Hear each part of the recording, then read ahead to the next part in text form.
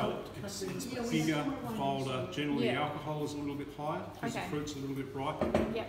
Um, the tannin structure is more obvious Yes. um, and and stronger, and so it takes longer for that, that wine to, to soften down. It doesn't quite. It's a different style of wine.